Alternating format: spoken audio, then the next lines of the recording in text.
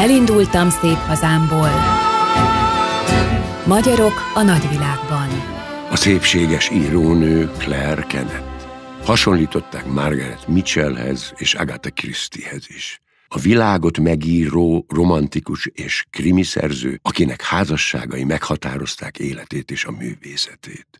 Claire Kenneth Kölcsei Kende Klára néven 1908-ban született Budapesten. Fiatalon megnyerte a Balatonalmádi szépségversenyt. Első férje nem tért haza a Donkanyarból, a másodikat kivégezték a németek, és harmadszorra is majdnem mellé fogott. 1946-ban mondott igent Bárdosi Pál katonatisztnek, az egykori miniszterelnök unokaöccsének. Ez a választás a családnak meghurcoltatást és kitelepítést eredményezett, a férjnek pedig börtönéveket. Ezek után 56-ban mi mást tehettek volna, menekültek. Claire Kenneth addigra már néhány sikeres könyvet írt. Köztük az 1947-ben megjelent Rendezvous Rómában című regényét. De a népszerűség sem menthette meg a kommunista korszakban. Műveivel szerte a világban óriási sikert aratott. Több millió példányban keltek el könyvei. Még második Erzsébet királynő polcain is megtalálhatóak a regényei.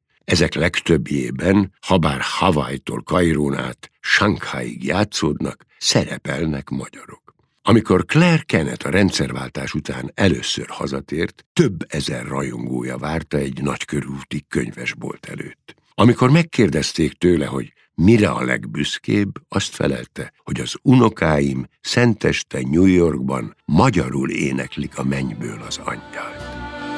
A műsorszám az Agrárminisztérium és a Hungarikum Bizottság megbízásából készült.